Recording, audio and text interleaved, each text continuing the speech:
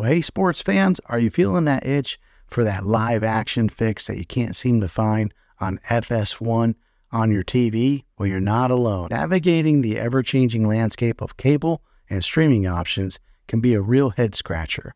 But fear not, because in today's tech video, I'm going to show you how you can get Fox FS1 on your Omni TV.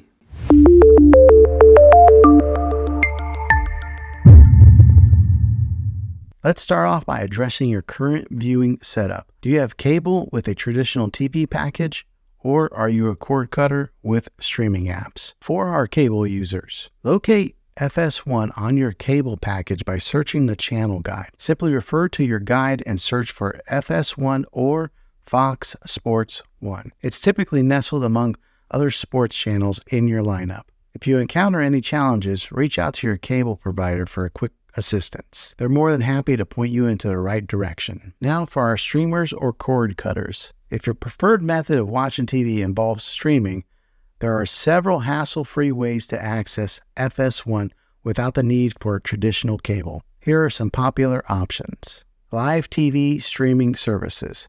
Platforms such as YouTube TV, Hulu plus Live TV, Sling TV, and Fubo TV all include FS1 in their channel packages. Compare prices, features, and channel lineups to choose a service that aligns with your preferences. Next is the Direct Fox Sports app subscription. If FS1 is your primary interest, consider subscribing directly to the Fox Sports app. It does require a valid cable or streaming service login for authentication, but once that's sorted, you're good to go. Now here's an alternative solution. While I don't endorse anything questionable, let's just say some resourceful individuals have discovered workarounds to access FS1, but proceed with caution if you choose this route.